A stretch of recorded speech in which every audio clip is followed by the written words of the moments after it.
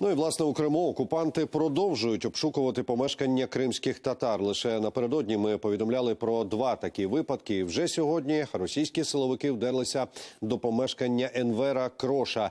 Активісти активіста забрали до Джанкойського райвідділку. На підтримку Енвера до будівлі почали сходитися місцеві жителі. Проте їм пригрозили порушенням справ і наказали розійтися.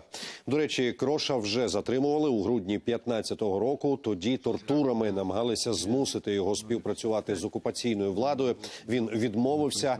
Ну а другий обшук сьогодні влаштували Вебазера Іслямова, який мешкає в Нижньогірському районі. Його теж забрали до райвідділку, а пізніше йому викликали швидку.